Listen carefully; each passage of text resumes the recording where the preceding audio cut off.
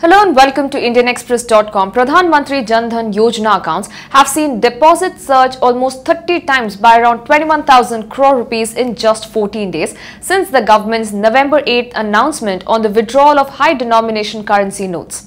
According to these estimates, the average weekly deposit in these accounts rose by 3,200% in two weeks since November 9th. Government sources told the Indian Express that while the amount of deposits that came into these accounts in West Bengal and Karnataka have shown a record surge over the last 14 days was not known according to the latest data updated until November 9th. Uttar Pradesh topped the deposit list with 7,493 crore rupees of funds in these accounts and 22.8% zero balance accounts. West Bengal had the second highest amount of deposit of rupees 6,286 crore rupees in Jan Dhan accounts.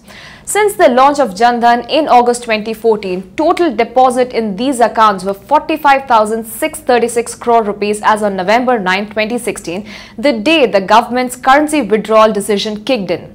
Total deposit in Jan Dhan accounts jumped to 66,636 crore rupees as on November 22nd. Officials said the finance ministry is monitoring the sudden surge into these accounts with some officials saying that black money operators could be using these accounts to convert their funds. For more news and updates, log on to indianexpress.com.